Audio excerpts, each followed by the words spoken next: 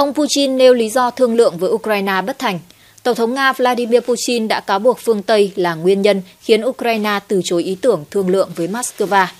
Trong cuộc điện đàm ngày 2 tháng 12 với Thủ tướng Đức Olaf Scholz, Tổng thống Nga Vladimir Putin đã chỉ trích động thái của phương Tây khi bơm vũ khí cho Ukraine, gọi đây là chính sách có tính phá hoại. Sự chú ý dồn đến chính sách phá hoại đang được các nước phương Tây theo đuổi, bao gồm cả Đức, những bên đang cung cấp vũ khí cho chế độ Kiev và huấn luyện quân đội Ukraine.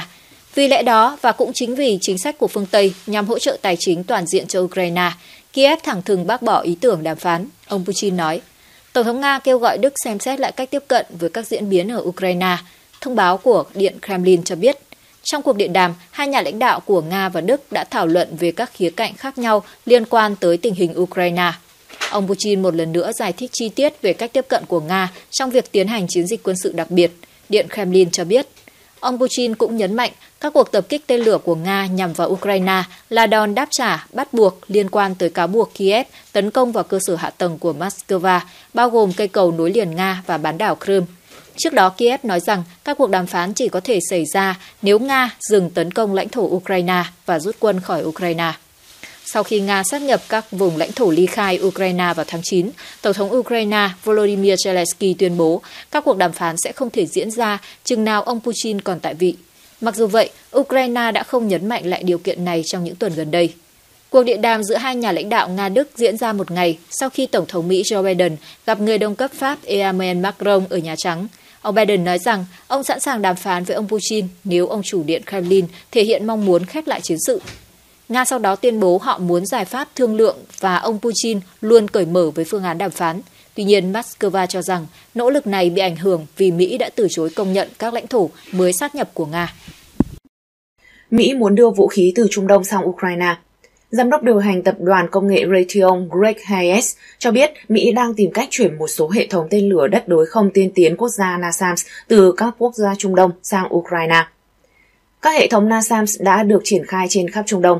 Một số đồng minh NATO và Mỹ đang làm việc với một số quốc gia Trung Đông đang sử dụng NASAMS để tìm cách đưa khẩu đội tên lửa này tới Ukraine. Ông Hayes nói với hãng tin Politico cho biết thêm rằng việc tái triển khai vũ khí hiện có sẽ nhanh hơn sản xuất vũ khí mới.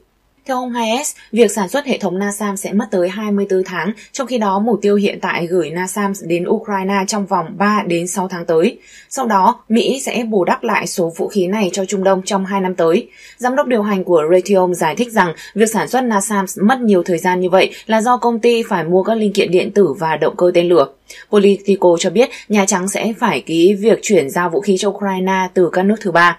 Nhà xuất khẩu vũ khí có trụ sở tại Virginia đã phát triển loại vũ khí này với sự hợp tác của công ty phòng thủ và hàng không Kongsberg của Na Uy. Tuyên bố của giám đốc Raytheon được đưa ra sau khi Lầu Năm Góc trao cho công ty này hợp đồng trị giá 1,2 tỷ đô la Mỹ mua thêm 6 khẩu đội NASAMS cho Kiev vào hôm 30 tháng 11. Theo Bộ Quốc phòng Ukraine Alexei Reznikov, Kiev đã nhận được hai hệ thống đầu tiên vào tháng trước. Lầu Năm Góc chưa đưa ra bình luận về phát biểu của ông Hayes, trong khi đó Moscow đã cảnh báo rằng việc phương Tây cung cấp vũ khí cho Ukraine sẽ chỉ làm trầm trọng thêm cuộc xung đột. Hôm 1 tháng 12, Ngoại trưởng Sergei Lavrov đã cáo buộc Mỹ và NATO đang can dự trực tiếp vào cuộc xung đột Ukraine, đồng thời cảnh báo nguy cơ chiến tranh liên quan vũ khí thông thường có thể leo thang thành cuộc xung đột hạt nhân. Chúng tôi vô hiệu hóa các cơ sở năng lượng Ukraine cho phép phương Tây bơm vũ khí chết chóc để tấn công người Nga. Vì thế, đừng nói rằng Mỹ và NATO không can dự trực tiếp vào cuộc chiến này. Không chỉ thông qua việc cung cấp vũ khí, họ còn huấn luyện binh sĩ Ukraine, ông Lavrov nói. Thụy Điển công bố gói viện trợ trị giá 338 triệu cho Ukraine. Chính phủ Thụy Điển tuyên bố sẽ gửi một số lượng trang thiết bị vũ khí trị giá 338 triệu đô la Mỹ cho Ukraine. Thủ tướng Ukraine Denis Shmyhal hôm 2 tháng 12 cho biết Thụy Điển đã quyết định chuyển giao cho Ukraine một gói viện trợ quân sự trị giá lên tới 338 triệu đô la Mỹ. Gói viện trợ mới được chính phủ công bố sẽ bao gồm nhiều trang thiết bị sử dụng trong mùa đông với tổng trị giá 338 triệu đô la Mỹ. Đây sẽ là sự bổ sung đáng kể cho chiến thắng cuối cùng của quân đội Ukraine, ông Shmyhal nói. Theo Thủ tướng Shmihan, bên cạnh trang thiết bị sử dụng trong mùa đông như máy phát điện hay quân phục, Thụy Điển sẽ gửi thêm các hệ thống phòng không cho Ukraine nhằm đối phó với các cuộc tập kích đường không dồn dập của Nga trong thời gian qua.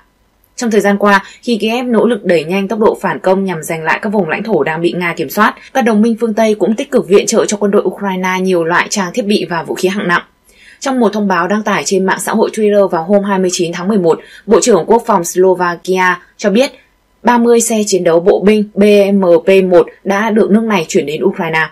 Trước đó vào ngày 25 tháng 11, chính phủ Na Uy xác nhận đã chuyển giao thêm 30 pháo tự hành M109A3GN cùng 20.000 linh kiện phụ trợ cho quân đội Ukraine. Ngoài ra, Oslo cũng gửi cho Kiev 55.000 bộ quân phục mùa đông cùng 30.000 khẩu phần ăn và giã chiến để giúp Ukraine đối phó với thời tiết lạnh giá trong thời gian tới. Ukraine hối thúc phương Tây khẩn cấp giúp khắc phục mạng lưới điện. Chính phủ Ukraine kêu gọi các nước phương Tây khẩn cấp trợ giúp Kiev khắc phục hệ thống mạng lưới điện đã bị tàn phá nặng nề giữa lúc mùa đông lạnh giá khắc nghiệt đang ùa về.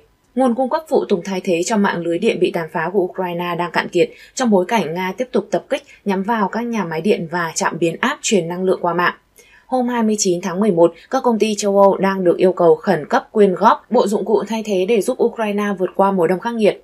Đã xảy ra tình trạng cắt điện kéo dài 48 giờ hoặc hơn trên khắp Ukraine vào tuần trước do một đợt tấn công bằng tên lửa mới của Nga. Cộng đồng năng lượng, một cơ quan thương mại châu Âu, đang điều phối chiến dịch phản ứng khẩn cấp để cung cấp phụ tùng thay thế cho Ukraine. Mặc dù đã có 37 chuyến hàng phụ tùng thay thế được chuyển đến Ukraine, nhưng vẫn chưa rõ liệu có đủ bộ dụng cụ để thắp sáng hệ thống điện nền cho nước này hay không. Thực tế này khiến Ukraine tiếp tục kêu gọi hỗ trợ nhiều hơn, khiến các đồng minh phương Tây của Kiev gia tăng lo ngại. Những cảnh báo này được đưa ra khi Ngoại trưởng các nước thành viên NATO nhóm họp hai ngày tại Bucharest của Romania. Một trong những nội dung chính được thảo luận tại hội nghị là các cam kết mới về hỗ trợ cho Ukraine, bao gồm hỗ trợ nhiên liệu, máy phát điện, vật tư, thiết bị y tế, thiết bị gây nhiễu máy bay không người lái. Theo đó, các ngoại trưởng NATO đã cam kết tăng cường các khoản viện trợ quân sự phi sát thường, hỗ trợ Ukraine khôi phục hạ tầng điện, nước đã bị hư hại nghiêm trọng. Ngoại trưởng Estonia thậm chí còn kêu gọi các đối tác NATO cam kết khoản hỗ trợ quân sự tương đương 1% GDP của mỗi nước cho Ukraine, với hy vọng điều đó sẽ tạo ra sự khác biệt chiến lược. Tuy nhiên, theo các chuyên gia, lời đề nghị trên là phi thực tế bởi hiện nay hầu hết đồng minh NATO đều đang phải đối mặt với bóng ma suy thoái kinh tế, lạm phát cao và đang phải vật lộn để đạt được khoản chi 2% GDP cho ngân sách quốc phòng của chính quốc gia mình. Ngoại trưởng Mỹ Antony Blinken cũng dự kiến sẽ công bố khoản viện trợ đáng kể cho mạng lưới năng lượng của Ukraine. Các quan chức nước này cho biết, các cuộc tấn công có mục tiêu của Nga đã tàn phá cơ sở năng lượng của Ukraine kể từ đầu tháng 10. Một diễn biến mà các quan chức phương Tây mô tả là nỗ lực của Nga nhằm vũ khí hóa cái lạnh mùa đông sắp tới. Ngay từ đầu cuộc họp ở Bucharest, Tổng thư ký NATO Jens Stoltenberg đã nói rằng chúng ta phải kiên trì và hỗ trợ hơn nữa Ukraine. Arthur Lodowski, giám đốc của Cộng đồng Năng lượng cho biết tình hình ở Ukraine rất nghiêm trọng. Họ có một số thiết bị được lưu trữ trước chiến tranh, nhưng kho này sắp cạn. Các thiết bị được lưu trữ sẽ không đủ để tiếp tục các hoạt động sửa chữa, ông nói thêm. Theo ông Logowski, Ưu tiên hàng đầu là các máy biến áp được sử dụng trong các trạm biến áp hiện nay đang bị thiệt hại nặng nề khiến trong mạng lưới truyền tải điện đứng bánh. Hôm 29 tháng 11, công ty điện quốc gia Ukraine Gro của Ukraine cảnh báo 30% khu vực trên khắp cả nước phải đối mặt với tình trạng thiếu điện. Điều này ảnh hưởng đến các tiện ích khác vào thời điểm nhiệt độ ở Kiev dao động từ 0 đến âm 5 độ C. Thách thức lớn hơn nữa là nhiệt độ có thể giảm xuống âm 10 độ C trong mùa đông và xuống dưới âm 20 độ C vào những ngày lạnh nhất sắp tới. Các nước lo ngại, cuộc khủng hoảng điện đang khiến các đồng minh của Ukraine ngày càng lo ngại. Một quan chức phương Tây cho biết các nước đã liên tục bàn về việc phải tăng cường hỗ trợ cho Ukraine, bao gồm cả việc cải thiện khả năng phòng thủ tên lửa. Ông Logowski cũng cho rằng hiện không muốn nói đến việc liệu hệ thống lưới điện Ukraine có vượt qua được mùa đông hay không. Trái tim tôi đang nói có, ông Logowski nói và nhấn mạnh thêm. Đây là những gì trái tim tôi đang nói, đây là một tình huống chưa từng có. Giới chức Ukraine cho biết đang rất cần máy phát điện để duy trì nguồn điện cho các dịch vụ và tòa nhà trong thời gian bị cắt điện.